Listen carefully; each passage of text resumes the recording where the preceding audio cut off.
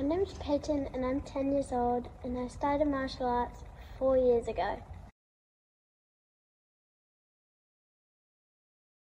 My favourite thing about martial arts is learning new things and it's helped me interact with people more.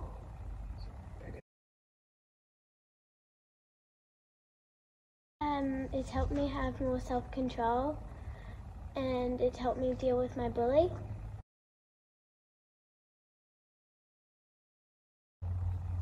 Just get out there and do it.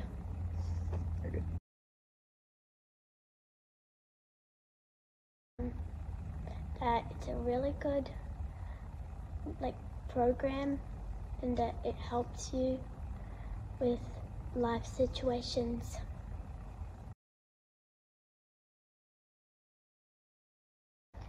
To be like Tiffany Hall and to have a black belt and to be on leadership.